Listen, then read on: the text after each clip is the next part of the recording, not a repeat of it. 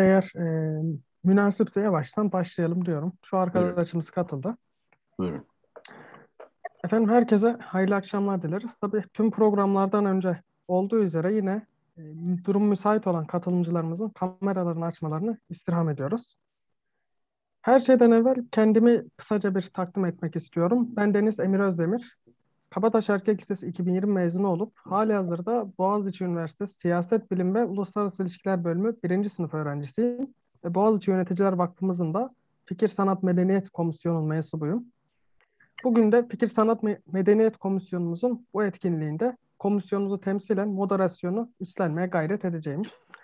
Peki bu akşam neden burada toplandığımıza online olarak gelecek olursak, kıymetli hocamız Necdet Subaşı'nın ev sosyolojisine ve ben kitapta açıkçası sadece ev sosyolojisini görmedim. Orada din sosyolojisini de gördüm, kent sosyolojisini de gördüm. Necdet hocamızın bu kıymetli eseri Evrengiz'i tahlil etmeye ve bu eserimiz bu eser üzerinden bir toplumun evlerini ve bir toplumun sosyolojisini okumaya gayret edeceğiz hoca, hocamızın rehberliğinde. Kısaca Necdet hocamızı da takdim etmek istiyorum sizlere. Sayın Doktor Necdet Subaşı 1961 yılında Artvin'de doğdu. Atatürk Üniversitesi İslam İlimler Fakültesi'nde ilahiyat eğitimi aldı. Doktorası din sosyolojisi sahasındadır. Hocamız akademik çalışmalarını 100. yıl Muğla ve Gazi Üniversitesi'nde sürdürdü.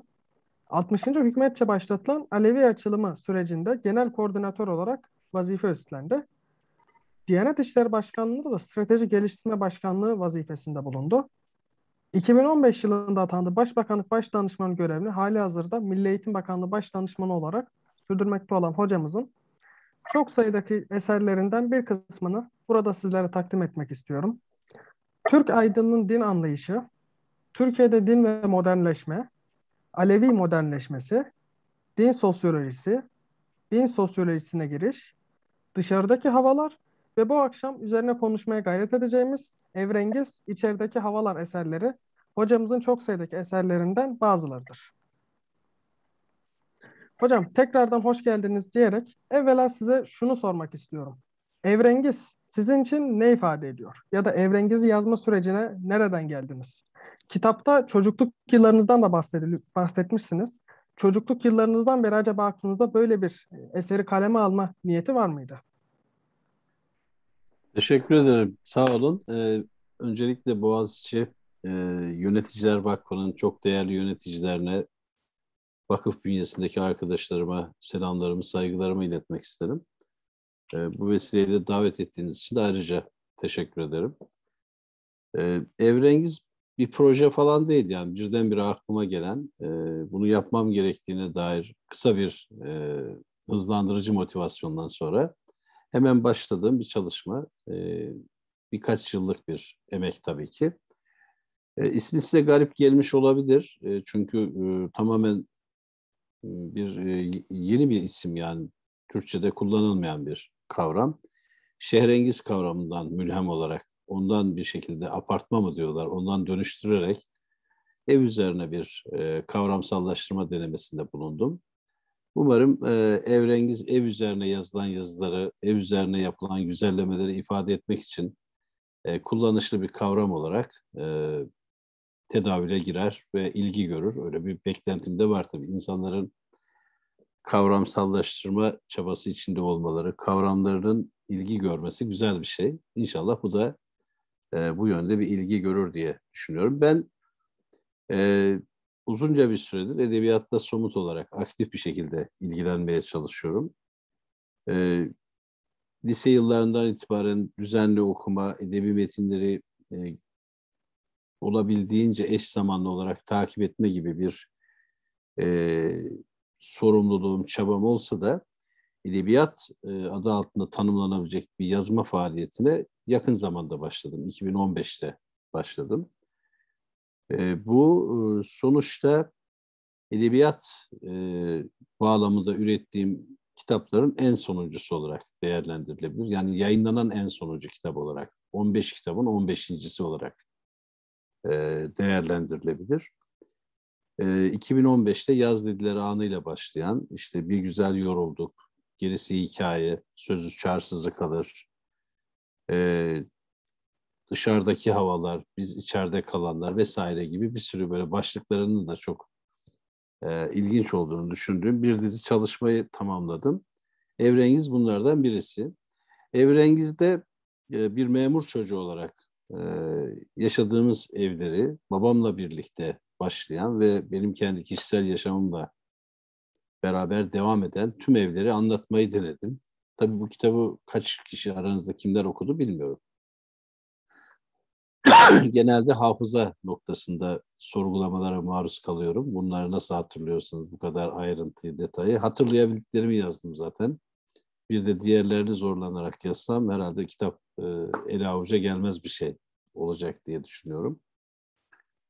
E, ben bir öğretmen çocuğuyum. Babam e, köy enstitü mezunu, öğretmen. E, Sinop'ta başlayan bir meslek hayatı var. Sinop Ayancı'nın e, Helaldi kasabasında öğretmen olarak başlamış. Ben yakın zamanda babamın ilk öğretmen olarak görev yaptığı yerleri dolaştım. Yani benim çocukluğumun, bebekliğimin falan geçtiği yerler. Hikayemde Ankara Mamak, e, Şavşat'ın e, birkaç köyü, Yusufeli, e, sonra Konya, uzunca bir süre Konya. Ardından benim öğrencilik yıllarımın geçtiği Erzurum, üniversite öğrencisi olarak Erzurum'da bulundum. Öğretmen olarak e, görev yaptığım Balıkesir, İvrendi, Büyük kasabası ve İvrendi ilçesi. Belki oralardan birileri olur diye tek tek sayıyorum. Ee, insan içi ısınır böyle bazen yaşadığı yer adı anıldığı zaman tuhaf bir şey oluyor. Ben de mesela sabah birisi konuşurken şavşat geçti acayip heyecanlandım. Yani niye heyecanlanıyoruz bilmiyorum. Bizi oraya ne bağlıyor? Bunları konuşmak lazım. Sonra e, uzun bir süre e, Van, 10 yıl. Yine bir o kadar süre Muğla. Ardından da e, o gün bugündür Ankara'da yaşıyorum. Yani neredeyse her gittiğim yerde Balıkesir'i ayırırsak 10 yıla yakın süre görev yaptım. Tabii ki oralarda evimiz yoktu. Kira, ev değiştiriyoruz, mekan değiştiriyoruz. Sobalı evden kaloriferli eve geçiyoruz.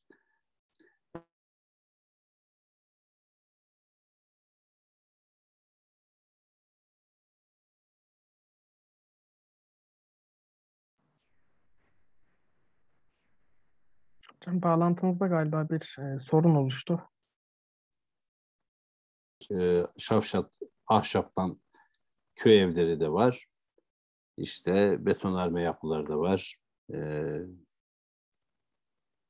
şimdiki evlerimiz tabii çok büyük. Şu anda 150-160 metrekarelik bir evde yaşıyorum. Ee, çok çocuklu, ailesi e, dışarıdan bakıldığında çok mutlu gibi görünen bir yapı ama ben çocukluğumun evlerini özlüyorum. Buna siz nostalji mi dersiniz, ne dersiniz, bir kaçış mı dersiniz bilmiyorum ama demin e, mutlaka unutmadan söylemeliyim diye kendi kendime not ettim. E, çocukluğumuzda mekanlar çok dardı ama müthiş bir genişliği vardı evlerin. Böyle izah edilmesi çok güç bir genişliği vardı. Şimdi mekanlar çok büyüdü ama hiçbirimiz eve sığamıyoruz. E, evin çekiciliği de giderek azalmaya başladı. Bunu bir özlem böyle olması gerekir, böyle olmalı gibi bir beklenti cümlesinden çok durum değerlendirmesi olarak söylediğimi de herhalde e, anlamış olmalısınız. Sorularınıza geçmeden önce bir iki noktaya da işaret etmem lazım. Ben geriye doğru bir e, zorla e, kendi hafızamı yoklamaya çalıştım ve e, hayal meyal hatırladığım e, çocukluk e, dünyası içinde çocukluk imgelemiyle e, tasarlayabileceğim geriye doğru ne kadar gidebilirsem gittim ve e, o evlerden küçük böyle enstantaneler, küçük fragmanlar belki böyle çok küçük detayları e, notlandırarak e, her bir evi de ayrı bir bölüm halinde ele alarak toplam 34 ev. Onları e, kaleme aldım. E, Ankara'daki yaşadığım evleri henüz yazmadım. Çünkü henüz Ankara'da yaşadığım evleri yazabilecek kadar onlara yabancılaşmadım. Onlarla arama bir mesafe falan girmiş değil çarşıya indim mi, Kızılay'a indim mi iki dakika sonra bir önceki evi görebiliyorum. Bir sokak arasına girdiğimde bir önceki ev. Yani dolayısıyla henüz daha onları yazacak kadar aramızdaki defteri kapatmış değiliz. Onu da umarım e, önümüzdeki dönemlerde eğer sağ kalırsak, ömrümüz yeterse onları da yazmayı planlıyorum.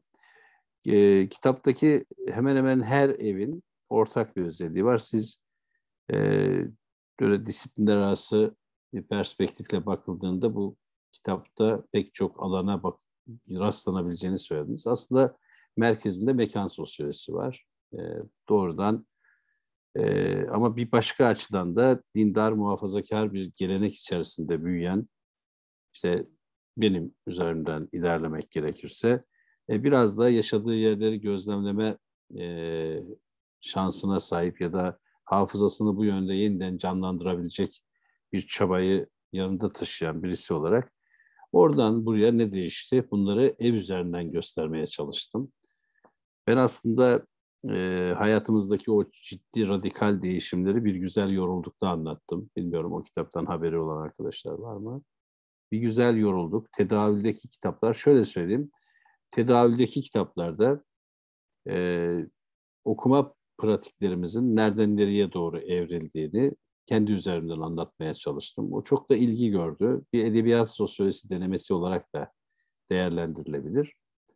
Edebiyat sosyolojisi kapsamında e, bireysel, kişisel ya da sonradan dahil olduğu muhitlerin ortak okumalarını takip ederek biz aslında hayatımıza giren kitaplarla nasıl bir ilişki kurduk ve onlar bizim kişiliğimizi nasıl şekillendirdi, söylemlerimize nasıl müdahale etti, biz nereden nereye geldik. Bunu ben e, kitap temelli olarak tedavüldeki kitaplarda anlatmaya çalıştım.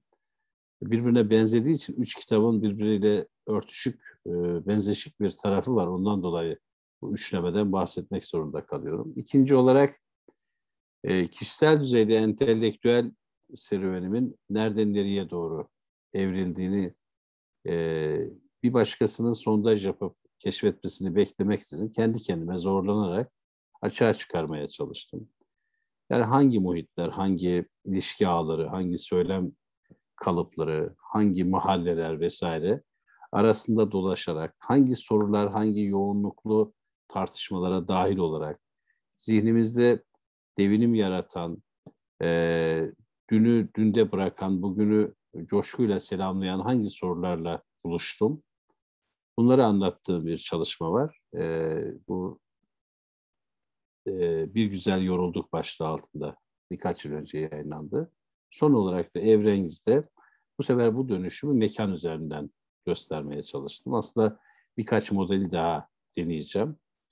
Mesela önümüzdeki günlerde eğer başarabilirsem Allah kendisine rahmet eylesin. Sezai Bey'in de aralarında olduğu, hayatıma yön veren, düşüncelerimin şekillenmesinde katkıları olan e, belli başlı düşünce adamlarını ki ben e, bunları çok büyük bir saygıyla hatırlatmak isterim. İşte Malik bin Nebi'den Seyit Kutub'a, Ali Şeriat'ten Mevdudi'ye, Necmettin Erbakan'dan Necip Fazıl'a, Sezai Karakoç'tan Pakdil'e isimler çoğaltılabilir. Yaklaşık 20 kişiyi de yine aynı şekilde e, biyografik e, belki e, biyografik çok iddialı olur ama onlarla aramdaki ilişkiyi, e, yakınlığı, e, bu ilişkiselliğin ortaya çıkardığı hareketliliği, devinimi ifade etmek üzere e, bir kitap e, tasarlaması içindeyim. Bunlardan bazıları belki e, takip edenler olmuştur. Daha önce itibarda yayınlandı. Bir kısmı Muhit dergisinde yayınlandı. Yani fırsat buldukça bu yazıları yayınlamaya çalışıyorum. E, Sezai Bey ile ilgili yazımda bu hafta pazar günü açık görüşte yayınlanacak ama açık görüşün sayfa tahtidi olduğu için maalesef e, oldukça uzun sayılabilecek 10-15 sayfalık metni bir hayli kısaltarak e, paylaşmak zorunda kalacağım. Evrengiz e, benim e, yani sonuçta oldukça küçük sayılabilecek e, bir evde, belli bir hacimde yaşamaya mecbur olduğumuz, mahkum olduğumuz bir yuvada neler döndüğünü, onun için neler sığdığını, o evin içinde dolaşan duygusallıkları, dolaşan e, sadakat hikayelerini, o evin içinde kendine bir yer bulan hatıraları, kuşkusuz geriye doğru baktığınızda bunun üzerinden oluşan nostaljiyi biraz burun sızlatarak, biraz e, hafif bir arabesk havasıyla da herhalde Emir onu fark etmişindir bir arabesk tarafı da var yani değil mi? Hafif incelikli bir şey var. Bunları e, anlatmaya çalıştım. E, çok seviyorum hikaye yazmayı. Fakat sen de herhalde fark etmiş olmalısın. Bunlar biyografik metinler değil, hatırat falan değil. Ben tam tersine odaklandığım her hikayede e, kendi dönüşümümüzün çok önemli sayılabilecek parametrelerini tartışmaya açıyorum. E, açıkçası tiyo vermeye çalışıyorum. Buradan bakarsanız diyorum, e, hikayenin bir de bu tarafına bakarsanız e, zihninizdeki şablonun pek de öyle işlemediğini görebilirsiniz diyor, demeye çalışıyorum. Benim e, Evrengiz üzerine söyleyebileceğim şey tipik bir taşranın e, Anadolu'nun başka diğer taşra mekanlarında dolaşarak sonra sonuçta Ankara'da demir atan hikayesinin e, mekansal arka planını paylaşmaya yönelik bir çalışma. E, insan içinde göç, işte ne bileyim yeni karşılaşmalar, entelektüel e, alt üst oluşlar, e, ailelerin bölünmesi. E, mesela ben e, doğduğum evle ilgili hatırladığım şey içinde babaannemin, amcamların, her birinin eşlerinin, çocuklarının bulunduğu kocaman bir e, yapı. Muhtemelen anneme çok sıkıcı geliyordur bu evde yaşamak. Gelinler, kaynanalar, yani işte sosyolojinin ataerkil diye tanımladığı o e, ve genellikle de eleştirmek için fırsat kolladığı hikaye. Ama mesela bir çocuk olarak bana çok sevimliydi. Amcamın çocuklarıyla, kuzenlerle, e, geniş bir Şavşat coğrafyasında hayatımın herhalde en güzel günlerini yaşadım.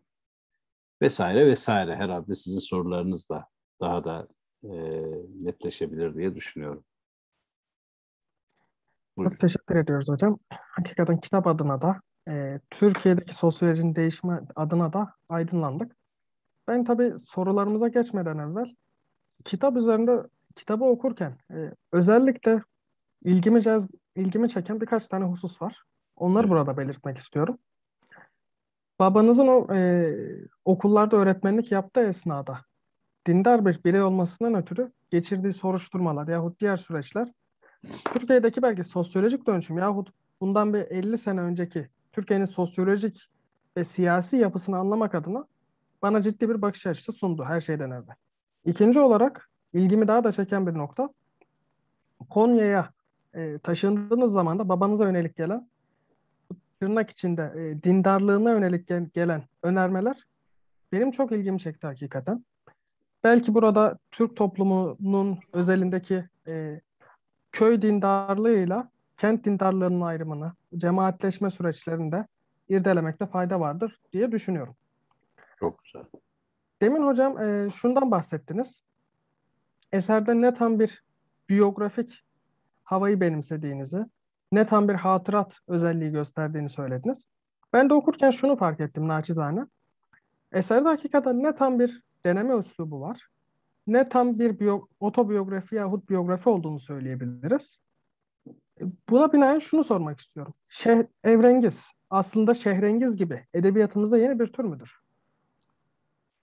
Yani eğer başarılırsa, herkes kendi evinin hikayesini anlatmayı başarırsa, parça parça, bölüm bölüm, e, yaşadığı evler arasındaki geçişin ortaya çıkardığı farkları e, ortaya koymayı başarırsa, tabii ki bu tür olarak e, müthiş etkili bir alan üretecektir. Ben e, bir evden bir eve geçişin e, müthiş farklılıklar yarattığını düşünüyorum. Aynı köyde, mesela Şavşat'ın Savaş Köyü'nde, oradaki yerel adıyla Mokta'da sanırım 5 e, aya da 6 ev değiştirdik. Çünkü oralarda öyledir. Yani e, size adam evinin bir odasını tahsis eder. Çünkü köy evleri e, öğretmene ayrılacak şekilde özel donanımlı yapılmaz. Size bir odasını verir. Size o eve, o odada tüm mahremiyetinizi yaşarsınız. Ee, mesela aynı köyde 4-5 evde oturduğunuzda e, yer değiştirdiğinizde mahalleniz değişir. Ev sahibiniz, komşularınız, yaşama biçiminiz, ev, evin mekansal e, pozisyonu, kasveti, sıcaklığı, genişliği, hacmi, ne bileyim reçine kokusu bile yani evin evin e, her evin kendine göre sizi besleyen, sizi inşa eden bir e, nasıl söyleyeyim bir e, bir arka planı var.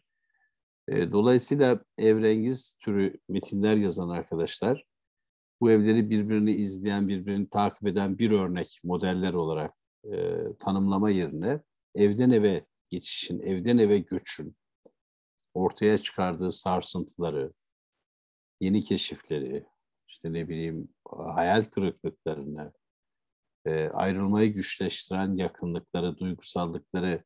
Mesela biz Artvin'den ayrılırken birkaç yıl kendimize gelemediğimizi hatırlıyorum. Ben değil ama annemler. Yani annemlerin memlekete, biz memleket diyoruz. E, Artvin'e bu kadar bağlılıkların altında ne olabilir falan diye düşünüyorum.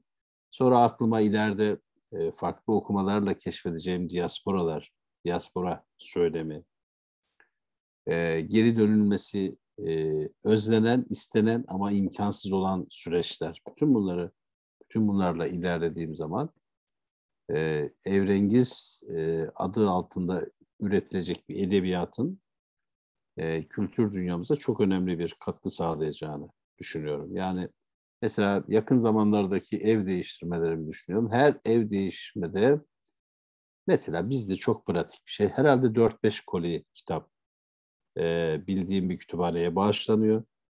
Muhtemelen en az bir koli kitap yakılıyor, yırtılıyor, çöpe atılıyor.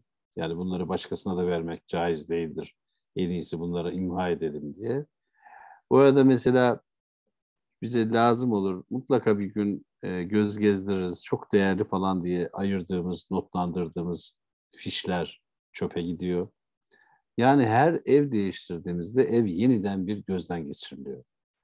İşte o gözden geçirmeyi insanlar niye ev taşımalara e, bırakır? Ev taşımalar neden aynı zamanda bir e, Z raporu gibidir. Evin akşam üzeri son halini görmek gibi bir şeydir.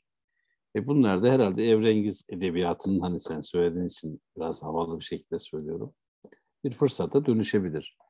Ya ben içimi boşalttım aslında. Benim böyle bir edebiyatta bir tür denemek, ne bileyim Türk Edebiyatı'na yüksek bir katkı sağlamak gibi bir derdim hiç olmadı. Tam tersine ben e, yaklaşık 25 yıl akademide çalıştım bir sosyolog olarak. Sonra e, akademikteki çalışmalarımın hiçbirini küçümsemiyorum. Onlar benim hayatımın çok önemli ürünleri. Ama sonra ben ben bunları acaba zaten ilgili olduğum edebiyatın e, diliyle, lehçesiyle anlatsam nasıl olur acaba dedim. Yani e, Emir sen okuduğun için fark etmiş olmalısın. Ben aslında baştan sona sosyoloji yapıyorum o kitaplarda. Yani orada e, komşuları anlatırken, ailemi anlatırken, işte demin vurgu yaptığınız babamın geçirdiği soruşturmalardan bahsederken ya da kendi hayatımdaki küçük değişiklikler sonradan fark edilen o büyük hareketlikleri kayda alırken aslında bir dönemin toplumsal değişimini, bireysel değişimini, kentsel yaşama uyum sorunlarını, şehre indiğimizde yaşadığımız alt üst oluşları falan anlatmaya çalışıyorum. E, dolayısıyla bir e, yeni bir edebi tür anlatmaktan ziyade benim içinde dolaşan ve kat kat e, şekillenmiş hikayeleri e, edebiyatın o e, elverişli dilini kullanarak o fırsatı sonuna kadar belki de kullanarak e, metinleştirmek istiyorum ve bunu e, açıkçası başardığımı sanıyorum. Keyif de alıyorum. E, ben de artık yazma denilen eylem bir sağaltım, bir, e, bir iyi gelen bir şey bana yani onu söyleyeyim. Hani herkes bir şey yaparak kendini mutlu hissedebilir. Ben de mesela böyle yürürken, otururken hep aklımdan otursam da şunu yazsam gibi bir şey çıkıyor. Bu iyi midir, hastalık mıdır? Bu bir bağımlılıksa nasıl kurtulur? Onları bilmiyorum. Henüz daha bunları dert edecek kadar e, yan etkilerini hissediyor değilim. Ancak daha çok yazacak şey var. Bunu biliyorum. Evet. Bu noktada hocam e, şöyle bir naçizane itirafta bulunmak istiyorum. Kitabı okurken şununla bir nevi kendi adıma, kendi hisseme düşen şununla yüzleştim. 14 yaşından beri yani yaklaşık bir 7 senedir işte Kabataş Lisesi'ni kazandım. Orada yurtta yaşadım. Pandemiden dolayı gerçi bir sene, geçtiğimiz sene evdeydim ama şimdi üniversitede Boğaziçi'nde yurttayım. E, hayatımın yaklaşık şu ana kadar üçte biri yurtlarda geçti. Kitabı okurken kendi içimde de şunu tahlil ettim. Ev kavramı da hakikaten yurtlarda yaşam, toplu yaşamdan sonra ev kavramına, evin ne olduğuna, evin sadece e, fiziksel bir mekandan ziyade bir manevi havasının da olduğuna uzaklaştığımı fark ettim. Kitabı okurken e, kitap bunu yeniden hatırlamama da vesile oldu. Bunu da kendi adıma, e, kendi hissemden bir çıkarım olarak ifade etmek istedim. Bunu yaptım noktada... ben aslında. Evet orada Emir bir araya gireyim unuturum ben sene kadar genç değilim bazen cümleler aklımda tam planlıyorum sonra kaybolup gidiyor kusura bakma. Ben aslında o kitapta e, birbiriyle aynı potada aynı e, paydada eşitlenerek konuşulamayacak mekanları da anlattım. Örneğin fark ettin mi bilmiyorum orada bir hücre var. Hapishanede bir hücre hikayesi var. O da bir kaldığımız bir yer yani. Mesela kitapta Paris'te uzun süre kaldığım bir ev var. Mesela insan Paris'te ya da Londra'da yaşadığında kaldığı ev de evi de başka buradaki evler gibi mi görür? Nasıl bir şeydir yani? Bu ev ev ev sadece içine kendinizi attığınız bir yer değil. Eğer öyle bir şey olsaydı oteller de ev olurdu. Ee, sanırım ikinci baskıda e, çok sık kullandığım yani yüzlerce binlerce kez kullandığım otelleri de yazacağım. Çünkü sonuçta ben kafamı nereye soktum, nerede, bütün günlerimi nerede geçirdiysem hepsini yazmak istiyorum. Ama bunları farklı göstermek, bunların ev olmadığını vurgulamak için gösteriyorum. Yani bir paket programda e, kendinizi attığınız otel odasında üç gün, dört gün ya da bir gün kaldığınız bir yerde e, orayı bir ev olarak falan e, hissedemiyorsunuz. Tıpkı marketlerle bakkal arasındaki sıcaklık kaybını çok net hissettiğiniz gibi.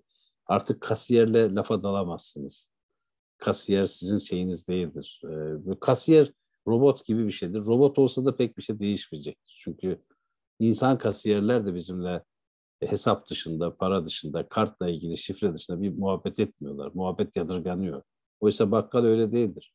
Berber öyle değildir. Bunları biliyorsunuz. Dolayısıyla ben e, bu mekansal e, çeşitliliği, işte oteller, e, hücreler, hapishaneler, işte ne bileyim e, yurt dışında yaşamalar, bir karavanda bir yaz geçirmek falan bunları da anlatmak istiyorum. Aslında bütün bunları e, senin demin çok tatlı bir şekilde ifade ettiğin gibi varsa bir kutsiyeti, kendinden menkul bir maneviyatı varsa o evi ayırmak ve onun değerine vurgu yapmak için yapmak istiyorum. Hocam e, çok güzel konular bunlar. Ben müsaadenizle bir iki şey söylemek istiyorum. Yani e, insanın e, yaşadığı mekanla veya kullandığı eşyayla bağları ne kadar artarsa, ortak noktalar ne kadar artarsa irtibatı da o kadar kuvvetleniyor. Mesela askerlik arkadaş erkekler için niçin önemlidir? Veya bir e, yurtta kaldığınız bir beraber kaldığınız bir arkadaşınız bir diğer üniversitedeki arkadaşlarınız çok farklıdır. Ortak noktalar arttıkça daha çok kuvvetlenir o bağlar. Ee, bilmiyorum da mesela biz aslında dünya fani. Ne eşyaya ne mekana e, böyle ayrılmayacakmış gibi bağlanmamamız lazım. Yani biraz sonra bu içinde bulunduğumuz odadan çıkacağız. Sonra evimizden çıkacağız bir gün olup, bir gün olup bu şehirden çıkabileceğiz veya tamamen bu dünyayı terk edeceğiz. Değil mi? Hepsi terk edeceğimiz yer. Orada çok e, ince bir şey var. Yani hem o kadar gönül bağlamayacağız hem de o vefa duygusunu da hissetmemiz lazım. Yani Allah bize e, mekanı da eşyaları da birer hizmetkar olarak veriyor. Belli dönemlerde biz bunları kullanıyoruz ve e, mesela orada bir irtibat sağlıyoruz. Yani o mekanlarda mesela akrabalarımız varsa memleketimizde burayla irtibatımız daha da güçleniyor, kuvvetleniyor. Sevdiğimiz insanlar kaldıysa orada yine irtibatımız kuvvetleniyor. Ama hiç kimse kalmadığı zaman gittiğinizde mesela o mekan da bir süre sonra size soğuk gelmeye başlıyor. Bütün sevdikleriniz oradan ayrıldığı zaman. Yani e, burada e, Allah'ın bize verdiği o e, mekan nimeti, eşya nimeti bunların kıymetini bilmemiz lazım. Yani gerekli vefayı da göstermemiz lazım. Hoyratça kullanıp Aa, benim artık işim bitti ben bunu çöpe atayım. Değil. Allah onu sana bir dönem mesela bir eşyayı hizmetkar kıldı. Sen onunla diyelim ki bir kaşıkla bile yemek yedin, şükrettin değil mi? Kesinlikle. Bizim ilk aldığımız araba böyle Uno'ydu. Ee, kaç yıl kullandık. Onu sattığımız zaman, yeni bir araba aldığımız zaman ailecek çok sevindik. Sonra oğlum dedi ki, onda böyle vefa duygusu çok güçlüdür. Siz dedi nasıl unuttunuz bir anda o eski arabayı? hani yenisini. Ya o zaman böyle içim cız etti. Gerçekten de hani bunca zaman bize hizmet etmiş bir araba. Ondan sonra yenisini gördük diye şey yaptı. Yani şu medeniyette de böyle e, bir hale gel- geldik maalesef. Yani mekanlar da artık kıymetini kaybetmeye başladı. Yani e, o vefa duygumuz da azalmaya başladı. Yani eşyaya düşkünlüğümüz arttıkça o irtibatlarımız maalesef zayıfladı. Ondan sonra artık insanlar ben her yerde yaşarım demeye başladı. E, tabii her yer Allah'ın mülkü ama e, bize bu vatana bağlayan şeyler de var. Başka değerler de var. Başka ortaklıklar da var. Bu kadar kolay diyemememiz lazım. Ben her yerde yaşarım kelimesi de. Yani ben naçizane böyle düşünüyorum. Belki gençler e, çok fikrime katılmayabilir ama yani bu vefa duygusunu kaybettiğimiz zaman e, sanki mekanlarla irtibatımız da zayıflamaya başladı gibi geliyor. Ben e, daha önce e, sanırım Büyüyen Ay yayınlarında çıkan bir kitabımda anlattım. E, Biz Dışarıda Kalanlar diye bir çalışmam var. Orada e, daha önce sahip olduğum iki arabayla aramdaki e, ilişkiyi kopardığımda hissettiğim duyguları yazmıştım. E, ilk araba, ilk arabamız yani aldığımız ilk araba bizim e, çocuklarla e, birlikte yaşadığımız yani dört çocuk e, ve içine sığdığın en az ev kadar e, üzerimizde etkisi olan bir şeydir, e, mekandır. Çünkü ben e, Van'dan Ankara ve Konya'ya gelişlerimde, Muğla'dan Ankara ve Konya'ya gelişlerimde hep araba kullanıyorum ve araba bizim için dinlediğimiz şarkılar, türküler, aile içi konular, mola vermeler her şey ilginçtir ve sürekli bir hız içerisinde bilmiyorum e, e, o yazar aklıma gelmedi. Amerika'ya kitabının yazarı meşhur o, aklıma gelmedi. E, yani mesela Muğla'dan Ankara'ya doğru yol aldığınızda sizin e, pencereleriniz, e, kadrajınız o kadar hızlı bir şekilde çalışır ki artık sizin e, zihin dünyanızın bereketine bağlı olarak böyle birbirini kovalayan gözlemlerde bulunursunuz. E, o gözlemleri de o arabanın içinden yaparsınız yani. Bütün her şey o arabanın içinde geçmiştir. Ben onlarla ilgili o arabalardan ayrıldığımda e, yaşadığım hüznü anlatan bir şey yazmıştım. E, iki tane hikaye yazmıştım. Hatta bazı arkadaşlarımız benim çok sulu göz bir şey olduğumu düşünmeye başlamışlardı. İnsan arabası için de böyle ağlar mı ya da üzülür mü ya da gözlerin nemlenir mi diye. Evet yani o sizin de vurguladığınız gibi Ayşe Hanım e, bu araçlarla insanın eşyayla ilişkilerindeki yakınsallık, bu ilişkinin biçimi, oraya yüklediğiniz anlamlar o sizinle alakalı bir şeydir zaten. Siz anlamlıysanız kullandığınız her şey anlamlı oluyor. Kendinize değer biçiyorsanız kullandığınız şeyleri de değerli hale getiriyorsunuz. Sizin elinizde kıymet buluyor. Mesela çok e, görünürde kıytırık sayılabilecek bir hediye bir dostumuzdan bize verildiyse biz onu bir ömür boyu e, saklıyoruz. Yani saklıyoruz ve e, etrafımızdaki pek çok kişi bizim bu kararlılığımızı yadırgayabiliyor. Yani neyi var bunun falan diyor. Oysa siz onun üzerinde belki bir Kızılderili gibi, bir Afrika yerlisi gibi onun üzerine sinmiş ruhları yanınızda taşıyorsunuz. Bir algı bu. Bu bir hissediş yani. Evet. Arkadaşlarınız neden kameralarını açmıyorlar? Ee, bir şey mi? Bir alışkanlık mı yoksa? evet, genel bir alışkanlık var.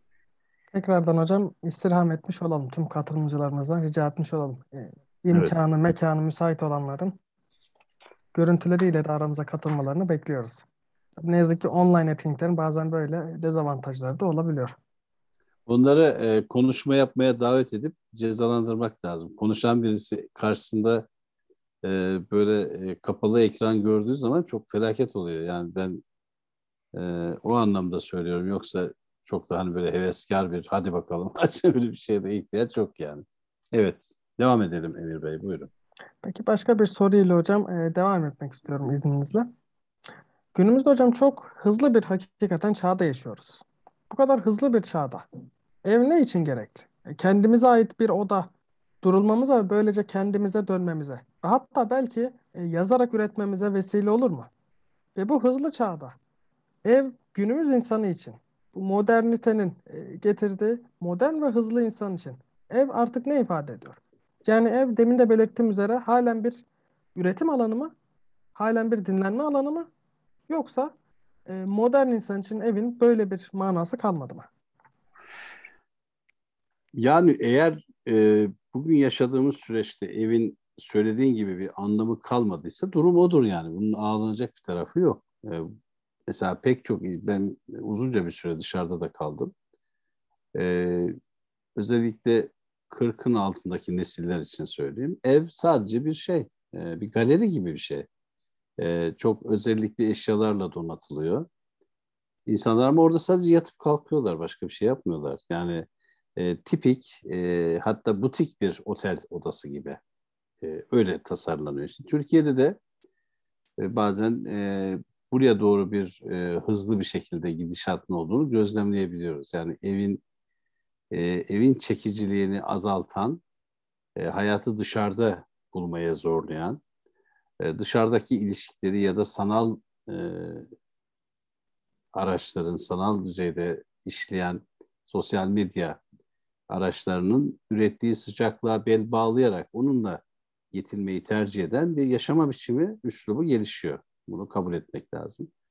Ama bu şu demek değil, onlar da muhtemelen durulduktan sonra kendi e, formunu yaratacaktır diye düşünüyorum. Ben e, dünyanın sonu değil yani mesela Artvin'de bir çocuk olarak kendimi içinde bulunduğum o sıcaklığın bugün aynı tonda, aynı derecede ilerlemediğini farkındayım. Dünyanın sonu gelmiş değil. Bugün de yeni durumu, e, yeni durumun içinde bir sıcaklık üretmeye, yeni durumu hayatımızın olmazsa olmaz e, şartları arasında, ilkeleri arasında görmeye çalışan bir çaba içinde oluyoruz. Yani burada e, benim anlatımlarımdan eskiden ne kadar güzeldi, bugün de Allah kahretsin çok kötü falan gibi bir şey çıkmasını hiç istemem. Öyle bir şey değil. Ben sadece çok hızlı bir şekilde değişen, gelişen, farklılaşan bir dünyanın belli başlı etaplarını e, o etapları birbirine karıştırmadan, bu etapların her birinin talep ettiği dili kullanarak hem bir yandan edebi bir form kullanıyorum, edebi bir form içinde ilerliyorum. hem bir yandan da kendi üzerinden yaşadığım ülkede gerçekleşen farklılaşmayı çok özür. Yaşadığım ülkede e, tanıklık ettiğimiz bir sosyal değişim e, sürecini mekan üzerinden anlatmaya çalışıyorum. Yani yoksa o güzeldi, bu güzeldi. Ona kalırsa, ona kalırsa mesela mesela benim çok e, önemsediğim ve e, hatırladığımda burnumun direğini sızlatan evler e, benim babamların kuşağı içinde çok şeydir, boştur yani. Bu eski sıcaklığı vermez. Yani kuşaklar kuşakların dünyayı algılama biçimleri farklı olabiliyor. Mesela ben işte ne güzeldi şu kadar insan birlikte yaşıyorduk falan dediğimde benim çocuğum pekala bunun yarattığı baskıya, bunun ürettiği e, psikolojik e, şiddete, orada e, mesela o dönemin toplumsal cinsiyet e, kuralları içerisinde kadınların e, nasıl mağduriyeti içselleştirdiklerini onu tartışmasız kendi işleri gibi, görevleri gibi algılamaya başlayıp e, erkeklerin de yan gelip yatıp işin keyfini çıkardıklarını söyleyebilir. Yani buradan baktığınız zaman e, oradaki hikayenin sosyolojisi size biraz tuhaf e, görünebilir.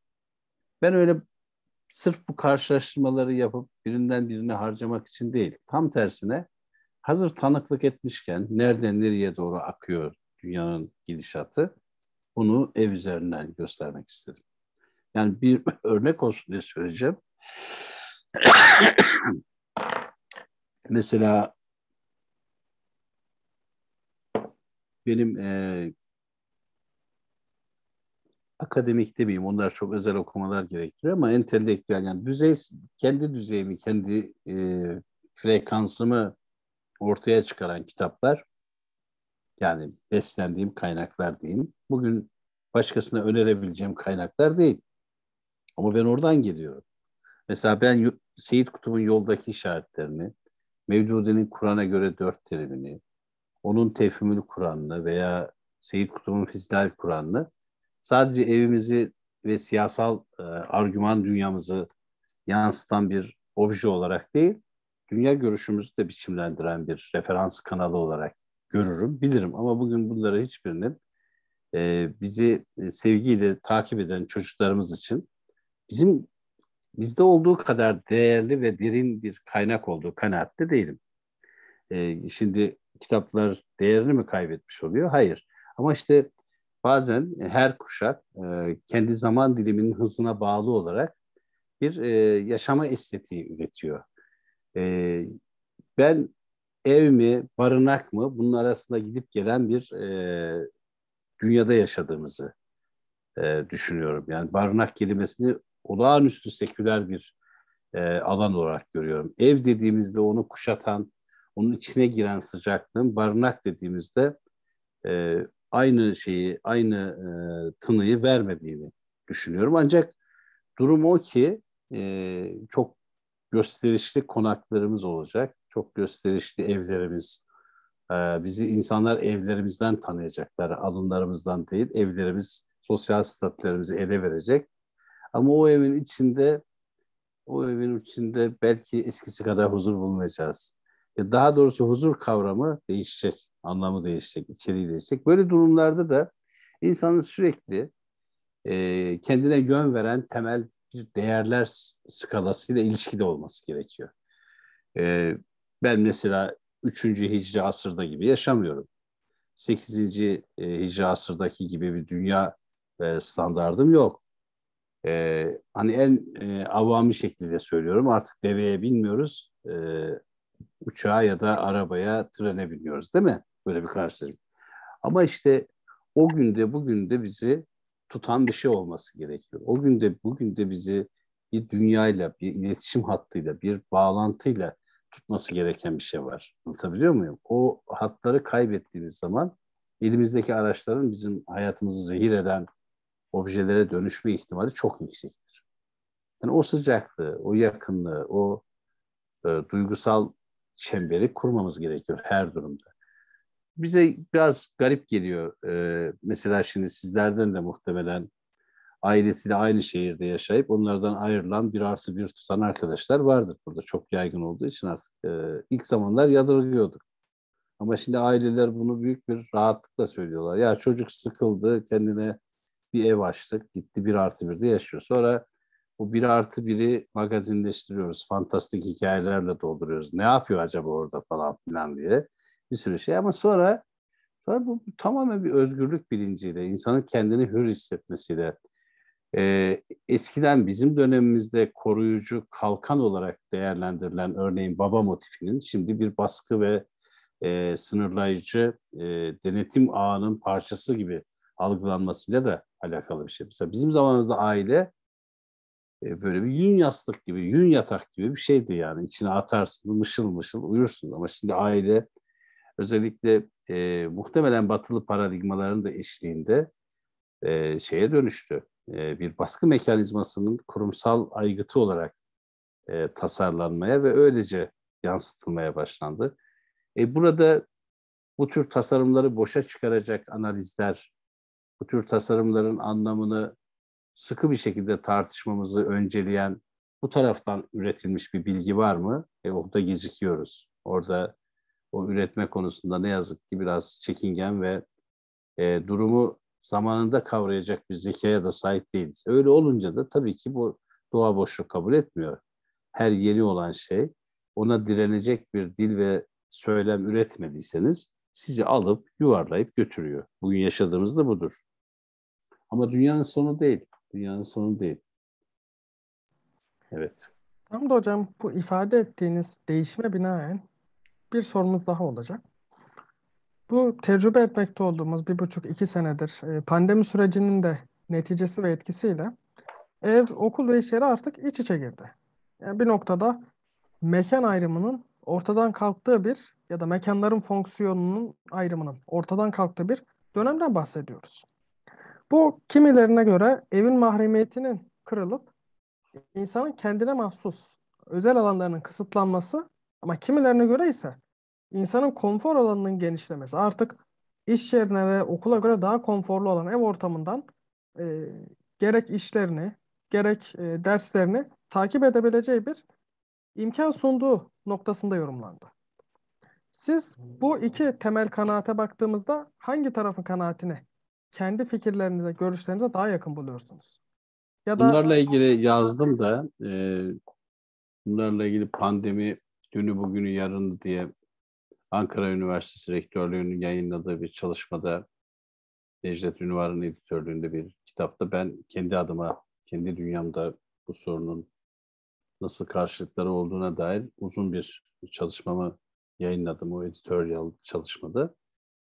Ee, bu bir süreç tabii yani pandemi kimsenin tasarladığı böyle olsun bundan sonra da e, ne kadar değişim yönünde planlamamız varsa tam da bu saatte bunları yapabiliriz gibi bir durum olduğunu sanmıyorum. Öyle e, korkutucu analizler yapılıyor. E, böyle e, meydanlarda e, oldukça e, provokatif sayılabilecek çıkarımlarda bulunuyor ama onlar onları zaman gösterecek ne kadar doğru ne kadar. Yani, olumlu şeylerini de düşünmek lazım. Yani bu bir musibet tabii. Önce bir musibetin bize ne getirip ne götüreceğini konuşmamız lazım. Ciddi bir sağlık sorunu tüm dünya yaşıyor. Bu payda bizim payımıza düşeni de e, hissediyoruz ve ağır bir şekilde tecrübe ediyoruz. Ama mesela beni şimdi siz İstanbul'a çağırsaydınız e, bu bunun bir bütçesi olacaktı herhalde değil mi? İstanbul'a gelmek için bir bütçesi olacaktı. Ondan sonra beni ağırlayacaktınız falan. Benimle işiniz yoksa bir de uğraşacaktınız falan. E, yüz yüze olmanın kendine özgü bir sıcaklığı var tabii ki. İnsanı yakından tanırsınız. Ne menen bir şey olduğunu fark edersiniz. Sanal dünya her zaman yalana, sahtekarlığa, kendini başka türlü göstermeye imkan veren bir yerdir. Ama orada görecektiniz yakından görecektiniz yürüyüşüne bakacaktınız, reflekslerine bakacaktınız, ufak tefek çıktılarını değerlendirecektiniz filan falan derken bir kanaatiniz olacak insanlar hakkında. Şimdi bu böyle bir imkan sunuyor tabii. Çok kolaylaştırıcı tarafları var. Mesela benim e, yürüttüğüm bir program var. E, 106. programı bu hafta yapacağız. Karantina Sohbetleri diye e, adı karantina sohbetleri diye artık kamuoyu da bildiği için rahatlıkla bu konuda konuşabiliriz. Bunlar da e, yaşanılan deneyimleri ifade etmek üzere yaz, yayınladığımız bir de kitabımız var. Karantina Sohbetleri diye bir kitap. Şimdi mesela o ne yaptı? Dünyanın dört bir tarafından e, onlarca insanı bir araya getirdi. İnsanları buluşturdu. Yani pandemi sürecinin yarattığı bir olanaklılık kullanıldı. Ama bunun e, ileride şimdiye kadar alışık olduğumuz şu atomize hikayeler, bireyselleşmeyi nereden nereye kadar götüreceğini, e, aile içi ilişkileri ne ölçüde parçalayacağını bilmiyoruz. Şimdi mesela e, ev hayatında, sofrada bile buluşamayan bir yapı oluşmaya başladı. Yani eskiden insanlar sabah kahvaltıda, akşam yemekte öyle ya da böyle bir araya girirdi. Mesela benim e, hayatım hala öyledir. Akşam altı oldu mu eve gelirim ve birlikte yemek yemenin fırsatını kullanırım. Sabah herkes birlikte sofrada kahvaltı yapar ve muhtemelen aile meclisi dediğimiz şey de sofrada yapılır. Tüm dedikodular, tüm muhabbetler, ne bileyim her şey o sofrada yapılır. Kimse bireysel takılmaz. Ama şimdi biraz pandemiden gelen bir şey. Biraz da işte içinden geçtiğimiz süreçler yani buna e, modern mi, postmodern mi ne diyeceksiniz? Buna korkuları da katarsanız post de ekleyeceksiniz. E şimdi insanlar aile içinde bile maskeyle davrandığı geçen seneki o berbat dönemi hatırlayın. Ben evden çıkarken kızım zorla elime eldiven geçiriyordu. Ağzıma maske. Asansörde bir yere dokundun mu? Yok şuna baktın mı? Bununla konuştun mu? Eve girdiğimizde müthiş bir steril müdahaleye maruz kalıyorduk. bugün biraz gevşedi ama bu bir adım daha ilerlerse bunun da bakın kimseye sarılabiliyor musunuz? Kimseyle yüz göz olacak kadar yakında oturabiliyor musunuz? Ee, birbirinize yakın olma konusunda hevesli misiniz? Hemen aklınıza şey geliyor, ölüm vesaire vesaire. Hele Allah korusun, Allah uzak etsin. Yakınlarınızdan birini kaybetmiş olsanız bunu daha da e, net bir şekilde hissedeceksiniz. Dolayısıyla bu süreç bazen imkan yaratıcı taraflarıyla yeni olanaklar, yeni iletişim biçimlerini harekete geçirmesi açısından iyi gibi görünüyor. Öğretici bir taraf var ama bir taraftan da bizim bildik davranışlarımızı yok ediyor.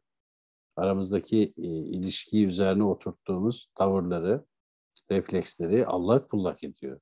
Belli ki yeni bir dünyaya uyanıyoruz. Yani mesela ben e, elimdeki bakiye ile muktesebatla idare ediyorum ama benim torunum için dünya annesi ve babası, seyrek gördüğü babaannesi ve dedesi, internetten gördüğü ben ve anneannesi. E, bu çocuk bu çocuk 15 yaşında nasıl bir çocuk olacak? Nasıl bir hafıza, nasıl bir aidiyet, nasıl bir kimlikle hayata karışacak? Buralar değil mi Ayşe Hanım? Yani bayağı bir karışık bir şey yani. Çok karışık ama sonuçta Allah varsa korkacak bir şey yoktur. Her şey onun muradının bir parçasıdır. Ben yani böyle oldu. Hayat değişti. insanlar bireyselleşti falan. Yani Allah'ın sesi her zaman görülür. Hiç korkacak bir şey yoktur. O zaman yeni durumları kavrayacaksınız ve yeni durumların içinde bir yaşama biçimi üreteceksiniz. Yani ben 1965'teki oturduğumuz evi övüyorum diye o evi oradan getirip minyatür olarak yeniden inşa etmenin bir alemi yok. Yani bu çok romantik bir şey olur. Ee, karıştırmamak lazım. Evet. Çok haklısınız, çok doğru diyorsunuz hocam. Benim hocam e, moderasyon adına son sorum, bir sorum daha olacak. Ondan sonra arzu eden katılımcılarımızın sorularını e, alacağız. Malum Sezai Bey'i e, kaybettik. Allah rahmet Wow. eylesin. Mekan cennet olsun inşallah. E, hakikaten Türk edebiyatı ve Türk düşünce hayatı çok kıymetli bir şahsiyeti kaybetti. Bendenizin de hep tanışmayı istedi. Lakin bir türlü e, nasip olma, tanışmak nasip olmayan bir şahsiyetti. Allah tekrardan rahmet eylesin diyelim. Bir soruyla da Sezai Bey hocam anmak istedik bu akşam. Malumunuz Sezai Bey'in e, balkon şiirini burada okuduktan sonra bu şiire binen size bir soru yöneltmek istiyorum. Çocuk düşerse ölür. Çünkü balkon ölümün cesur körfezidir evlerde. Yüzünde son gülümseme kaybolurken çocukların anneler, anneler elleri balkonların demirinde. İçimde ve evlerde balkon. Bir tabut kadar yer tutar. Çamaşırlarınızı asarsınız, hazır kefen. Şezlongunuza uzanır ölü. Gelecek zamanlarda ölüleri balkonlara gömecekler. İnsan rahat etmeyecek öldükten sonra da. Bana sormayın böyle nereye. Koşa koşa gidiyorum. Alnından öpmeye gidiyorum. Evleri balkonsuz yapan mimarların. Evet. Allah rahmet eylesin. Amin inşallah hocam. Bu Sezai Bey bu şiirinde tabii e, evlerde artık kendi döneminde bir çıktı olarak, e, eklenti olarak diyeyim, dahil olan e, mimari üslubumuzu değiştiren e, balkon kavramına son derece negatif bir e, perspektifle, negatiften öte kaygılı, e, tabutluk e, ve bir e, hep böyle bir ölüm imgesini hatırlatan e, bir e, obje olarak bakıyor. Muhtemelen e, mimarlık dünyasında ortaya çıkan gelişmeleri e, o ucube kendi döneminde o şiiri ya, yani sanırım 50'lerde yazdı onu balkonu. E, ucube bir gelişmeyi e, biraz ironik bir e, şey içerisinde, çerçeve içerisinde anlatmaya çalışıyor. Ama mesela kendi döneminde evin içi bir balkona ihtiyaç duyurtmayacak kadar aydınlık, evin içi e, nefesinizi daraltmayacak kadar geniş ve bir başkasını görmeye ihtiyaç duyurtmayacak kadar da şenlikli ve coşkuluydu. Şimdi itiraf edeyim ki balkonsuz bir ev alamazsınız, almak istemezsiniz. Balkonsuz evde kendinizi böyle Nazi kampında gibi bir şey hissedersiniz. Yani dönem değişiyor ve Bakın ben pandemi döneminde şöyle bir şey yaptım. Çankaya'da köşkte, lojmanda kalıyorduk o zaman. Ee, şehre çıkamıyoruz, hiçbir yere gidemiyoruz. İşte evin, sokağın başındaki markete gidip gündelik ihtiyaçlarımızı karşılamak dışında dışarıya böyle e, kaçak göçek gidiyoruz yani anlayacağınız herkes gibi.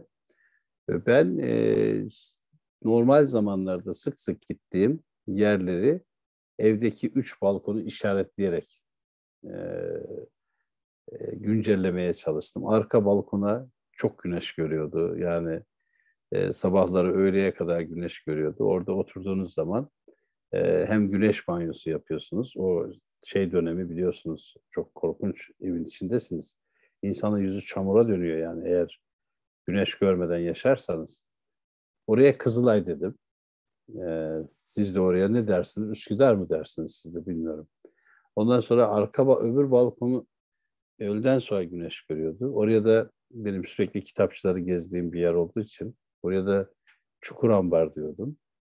Ondan sonra bir tane de yarım ay, hanımın e, çamaşır astığı böyle çok küçük bir şey var. Orası da daha çok serinliğiyle yani e, günün her saatinde orası bunaltıcı olmayan bir havaya sahip. Orayı da bizim daire olarak yazdım. Yani benim çalıştığım yer. Arada bir Face'te veya diğer sosyal mecralarda işte Kızılay'dayım, e, Çukurambar'dayım e, falan yazdığımda arkadaşlar hayırdır nasıl bir belge falan mı aldın? Yok yani orada güncelleme, esprili bir yenileme çabası. E, bugün mesela e, benim kocaman bir balkonum var ve ben o balkon yüzünden eve hiç girmiyorum bile. Evin hiçbir odasını kullanmıyorum kütüphane dışında. Çünkü orada daha rahat nefes alıyorum. Mimari de Sezai Bey'in e, ilk gözlemlerinde olduğu kadar kaba ve hoyrat bir balkonculukla ilerlemiyor. Balkonlar da artık yeni bir yaşam alanı. Çift cam yaptırıyorsunuz. Oraya özel bir mobilya koyuyorsunuz. Yani balkonu da e, Türk mimarlar e, Şirazesi'nden çıkardılar, evin içine dahil ettiler. Eve, evin dışında bir şey olarak kalsaydı, bilmiyorum içinizde eski polis lojmanları, binalarını görenler var mı? Bu devlet lojmanlarında balkonlar böyle dışarıda şey gibidir, böyle askıntı gibi durur. E, evin parçası değildir yani. Orada düştü düşecek gibi görünür. Şimdi gömme balkon dedikleri bir şey yaptılar. E, zaten evi aldıktan sonra da o gömme balkona hemen bir pencere taktırıyorsunuz. Bir de kalorifer peteği. Bu Türkler yapar her şeyi. Her şeyi kendilerine benzetirler. Onun için Sezai Bey'i rahmetle analım. O, onun korkusuna hak veriyoruz ama bugün e, balkon o kadar problemli bir şey gözükmüyor. Oradaki kaygıya bakmak lazım. Kaygı evin içinde olmayan dışsal bir eklenti. Eve dahil olmayan bir şey bu. Ona, ona bakmak lazım. Her zaman olacaktır o imtihanımız, onu da söyleyeyim. Evet. Son sorumuz dedik hocam. Lakin e, aklıma şimdi siz Üsküdar'a da atıfta bulununca naçizane bir soru takıldı. Onu da yöneltmek istiyorum yüksek müsaadelerinizle. Buyurun. Şu anda belki pandemi dolayısıyla kesinti uğrasa da İstanbul Ankara arasında sık sık gidip geldiğinizi gerek çeşitli etkinlikler, gerek konferanslar, gerek göreviniz gereği biliyoruz. Bu bağlamda İstanbul'un siz de en çok Ankara'ya dönüşünü mü seviyorsunuz? Ankara'yı ev olarak e, gören biri olarak. Ya bu konuda tabii İstanbul'a o kadar çok yatırım yapılıyor ki düşünsel olarak, duygusal olarak. Yahya Kemal'in de o meşhur sözünü e, hatırlatarak. insan korkuyor Ankara'yı sevdiğini söylemeye. Ankara deyince de sanki Kemalist e, şeye sempati besliyor. O, oranın tarihsel, kültürel ağırlığına vurgu yapıyor gibi bir şey algılanıyor. E, yok aslında ama ben mesela Ankara'da e, kişisel olarak daha rahat yaşadığımı, kaybolmadığımı, ekonominin ekonomimin burada yaşamaya gittiğini, e, küçük ve tanımlı ilişkilerinin e, çok kompleks bir kişilik gerektirmediğini, ondan sonra e, bir günün e, yolda geçecek tüm e, vaktinin bir saatten daha fazla olmadığını, tüm vaktinin yani. Bütün gün yolda yürüseniz sadece bir saat yürürsünüz. Geriye kalan hep bir nereye varacaksanız varırsınız. İstanbul'da bana hep böyle e, onun ruhaniyetine, maneviyatına saygımı koruyayım ama yolda geçiyormuş gibi geliyor bana. Tamam güzel ama her gün Boğaz'dan geçmeyeceğiz ki. Yani e, ben şimdi geldiğimde tabii ki İstanbul'un keyfini çıkarıyorum ama ben İstanbul'da yaşayacak olsam belki belki bir gezgin olarak gördüğüm şeylerin çoğunu görmeyeceğim. Tuzla'dakiler sabah akşam İstanbul mu yaşıyor? Veya Ali Beyköy'de yaşayanlar. Bunları biliyorum. E, siz İstanbul'u sevdiyseniz mübarek olsun. Çok güzel bir şey. Sevilmez mi? Üsküdar'ı, Eyüp Sultan'ı, işte ne bileyim İstiklal Caddesi'nde iki tur atmak e, başka hiçbir şeyle kıyaslanamaz. Hele şimdi İstiklal Caddesi'nin o köşedeki camide e, nefes almak, namaz kılmak. Ya bunlar müthiş şeyler ya. Güzel. Ama Ankara'da güzel. Erzurum'da güzel. Mardin'de güzel. Yani e, İstanbul'un e, üstüne basa basa e, bir vurguyla hatırlanmasının sebebinin siyasi, politik e, ve duygusal nedenleri var. İstanbul tarih çünkü yani. İstanbul'dan İstanbul'dan Mekke'ye kadar hızlı gidebiliyorsunuz. Hele Üsküdar'daysanız sizi Mekke'ye bağlayan, Hicaz'a bağlayan bir damarı var. Sanki Ankara'nın öyle bir şeysi yokmuş gibi. Oysa bana kalırsa Ankara Hicaz'a Üsküdar'dan daha yakındır. Hacı Bayram Veli de buradadır yani. Böyle o kadar da e, abartmayalım. Bu, bu şehirlerin karşılaştırması hoştur. Yahya Kemal'in söylediği şey de Yahya Kemal gibi bir adam da İstanbul'u sevmeyip ne yapacak? Adamın bütün e, ömrü İstanbul yazmakla gez, geçmiş yani. Süleymaniye'yi yazan bir adam, Eğil Dağları yazan bir adam, Muhaç'ı, Nibolu'yu yazan bir adam ayağını İstanbul'a basmayacak da nerede konuşacak yani? Ona da Allah rahmet eylesin. Amin inşallah hocam. Her şehrin ayrı bir güzelliği var değil mi hocam? Kesinlikle, kesinlikle, kesinlikle. Ayrı değil mi? Ondan Çok sonra tabii ki, tabii ki, tabii ki. yeşili ayrı. Her bir şehrin gerçekten farklı farklı güzellikleri var. Bakmasını, görmesini bilene inşallah. Aynen, aynen, evet. Allah razı olsun hocam. Ağzınıza sağlık. Teşekkür ederim. İstifade ettik. Allah razı olsun. Arzu Müsaade eder, ederseniz bu kaydı YouTube'da da yayınlamak istiyoruz hocam inşallah. Buyurun tabii ki, tabii ki yayınlayabilirsiniz. hocam, arzu eden katılımcılarımızın da dilerseniz e, soruları varsa Tabii. gerek isterseler chatten yazılı olarak sorabilirler. İsterlerse söz alabilirler el kaldırıp. Buyurun. Sorusu olan var mıdır? Emir maşallah çok güzel sorular hazırlamışsın. Başka söze hacet kalmadı herhalde. Allah razı olsun senden de. Estağfurullah hocam. Güner hocamın da katkılarını burada Fikir Sanat Medeniyet Komisyonumuzun başkanı e, es geçmemekte fayda var. Hocamıza da Güner hocamıza da çok teşekkür ediyorum. Allah Gerek razı bizi Necdet hocamıza e, buluşturmaya vesile olduğu için e, gerek organizasyonda da bu vazifeyi bize e, vererek bizi şereflendirdiği için bilahare teşekkür etmek istiyorum Güner hocamıza da. Sorusu olan vardır. Bir kez daha sorup. Sanırım yok. Evet, Ee, henüz evet. yok. O Peki zaman o zaman ben de çok teşekkür ediyoruz vesileyle hocam. Ağzınıza sağlık. Hakikaten çok bereketli, keyifli bir akşam oldu.